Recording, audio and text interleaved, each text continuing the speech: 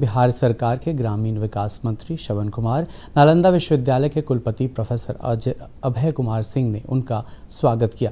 इस अवसर पर छात्रों को संबोधित करते हुए उपराष्ट्रपति ने कहा कि पूरी दुनिया में नालंदा विश्वविद्यालय की अपनी एक छवि रही है।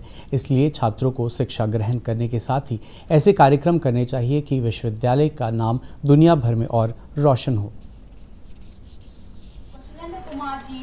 Member of